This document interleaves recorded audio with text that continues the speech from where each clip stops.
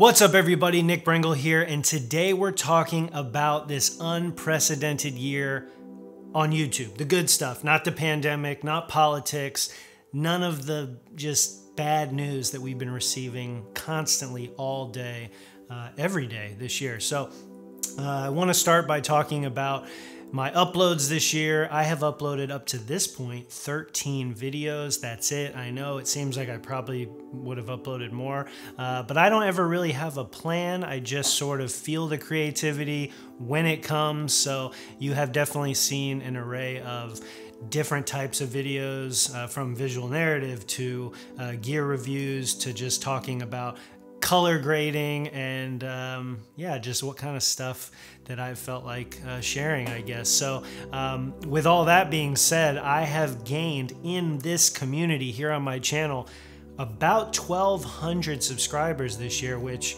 is pretty awesome. So thank you very much. And if you're not subscribed, please go watch some of my other videos. Consider subscribing. You don't have to, but it's free. It helps me out. It's pretty awesome. So what I wanted to do is share a few things that I've learned this year on YouTube, being a creator here on this platform. And uh, these are things I've probably preached before and you've probably heard from other creators, but uh, I'm just gonna tell you again. So uh, the number one thing is consistency. Now, I just shared that I have only uploaded 13 videos this year, so that's like basically one a month. So it's not great, uh, but for me, that's pretty consistent, one a month. So if you're subscribed here, you understand that the uploads come, you know, not as often as I would like or maybe you would like, but um, definitely being consistent and not just with uploading, but being consistent across the board, uh, being consistent with who you are, what your message is, um, the quality of your content,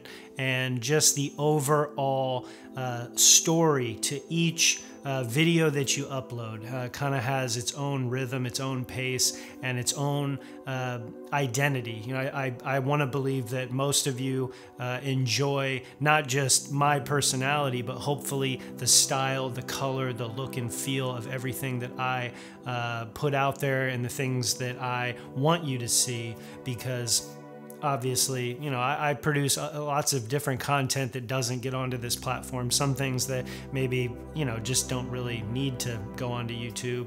Uh, so I try to pick and choose and be a little more specific with what I'm putting out there. And I know you've asked a lot of questions about wanting to talk about specific things. And I have made those notes and I will get to that, of course, in due time.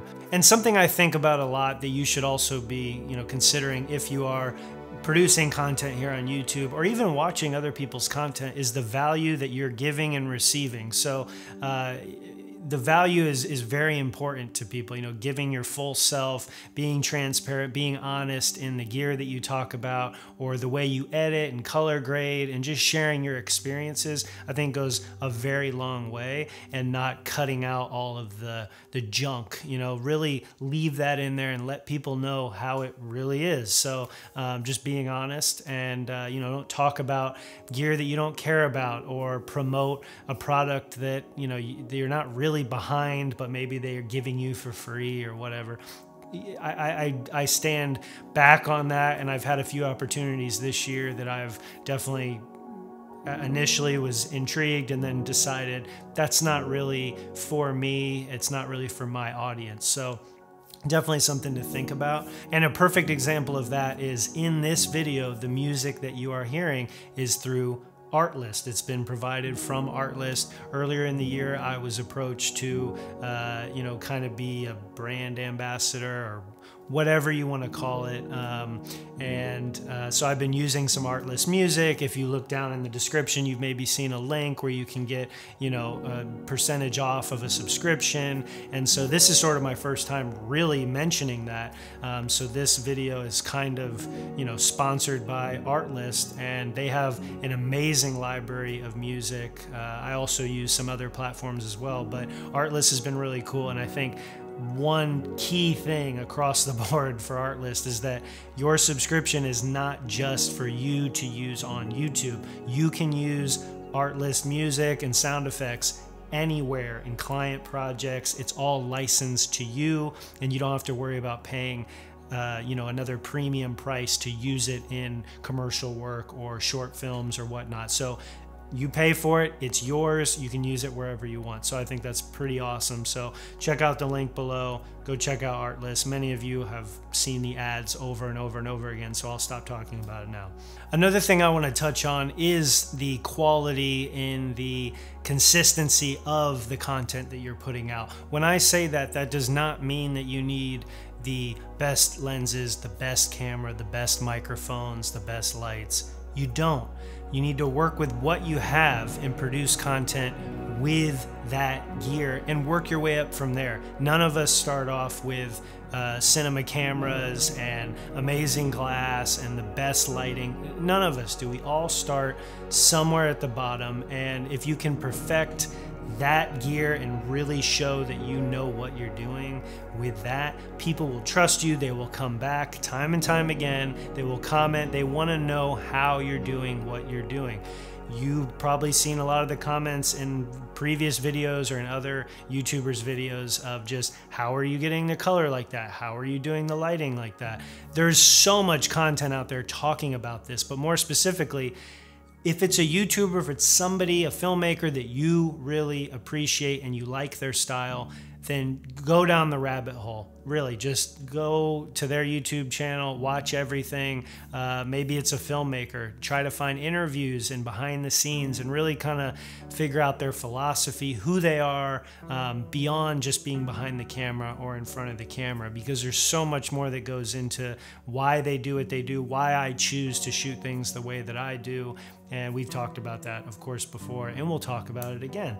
Um, so, I want to leave you with one more thing, and that is talking about you know this community um, again uh, on YouTube. That uh, it's been a huge encouragement for me, especially through this crazy year of you know productions being shut down, no work, then a bunch of work, then no work again, and um, I've always been able to fall back to this creative outlet, and this is something that goes back you know years years ago when i really said all right i'm going to sit down i'm going to commit to making youtube content and that doesn't mean i'm going to make a million videos a year but i'm going to try to be consistent and when I feel that it's something I need to talk about or share, that that's what I'm going to do because I want all of you to understand where I'm coming from and how I uh, see the world through the camera, how I want to capture things, and maybe you'll get a little inspiration from that because clearly I've been inspired by many uh, filmmakers and even YouTubers uh, here on this um, platform. So, uh, yeah, keep doing that. Uh, if you have any questions, please drop them down below. Smash the like button, as they say. Um, and again, if you're not subscribed, consider subscribing. And it only takes one second, one click, and you're subscribed. You don't have to ring the bell or anything like that. that that's ridiculous. I don't even click the bell for anybody. So, um, yeah. Um,